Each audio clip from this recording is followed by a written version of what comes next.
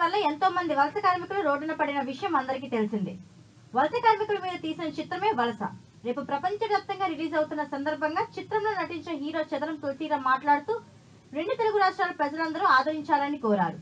అలాగే ఇలాంటి మహోన్నతమైన ప్రయత్నాన్ని ప్రజలందరూ ముందుకు తీసుకొని వస్తున్న నంది అవార్డు గ్రహీత పి. సునీల్ కుమార్ రెడ్డి గారికి ప్రత్యేక ధన్యవాదాలు తెలియజేశారు. Kalakar productions Shravya films banner పై నిర్మించిన వలస చిత్రం రేపు ప్రపంచవ్యాప్తంగా థియేటర్స్ అమెజాన్ ప్రైమ్లో రిలీజ్ అవుతున్న సందర్భంగా ప్రజలందరూ ఈ చిత్రాన్ని చూడాలని కోరారు. ఈ చిత్రాన్ని ఒక సినిమాలా కాకుండా ప్రతి భారతీయుడు ఒక రెస్పాన్సిబిలిటీగా ఈ చిత్రాన్ని చూడాలని కోరారు.